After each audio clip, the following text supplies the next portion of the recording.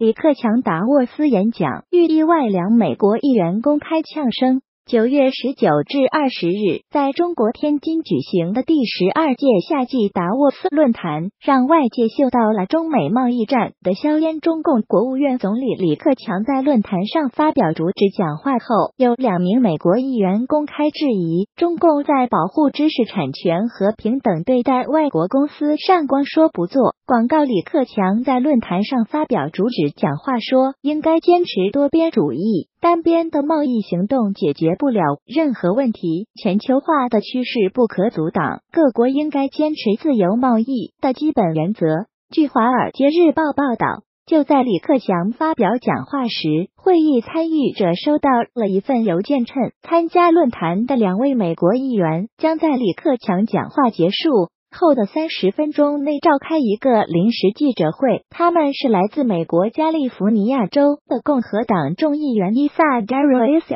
和来自美国印第安纳州共和党联邦众议员罗基塔。Chadwick 这两位美国议员表示，强烈支持川普特朗普与中共进行贸易对抗的行动，呼吁北京停止偷窃和作弊，并及时采取行动，让中美贸易战停火。罗基塔说，美国采取的所有行动都是基于可靠证据。并经过深思熟虑且合情合理的，中共领导层在知识产权保护和平等对待外国公司的言论没有什么新意。我不确定中国人的谚语是什么，但在美国，我们有句话说：“光说不值钱，行动才重要。”如果盗窃是错误的，如果欺骗是错误的，那为什么我们要去接受它？伊萨则说：“光说没有用，要有行动才行。我们现在要的是行动，要求偷窃和作弊的行为停止。”在中国有数百个知识产权案例，已经积压了几十年，年复一年，这些案例从未得到审理，因为如果他们做了，将不得不承认中共已经做错了。伊萨表示，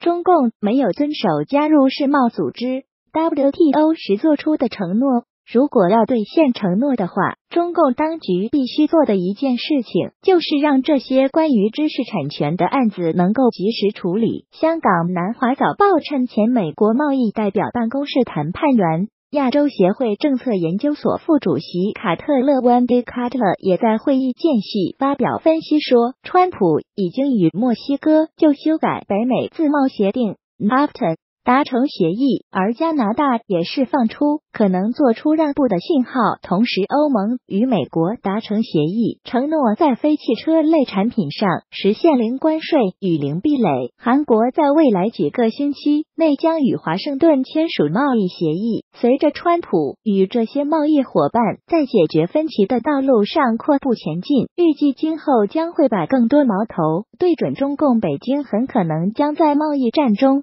陷入孤军奋战的危险。在达沃斯经济论坛开幕前几个小时，川普总统刚宣布对价值两千亿美元的中国商品征收。百分之十的关税从九月二十四日起开始生效，明年一月一日起关税将上升至百分之二十五。几小时后，北京方面也宣布对六百亿美元的美国商品征收百分之五和百分之十的报复性关税。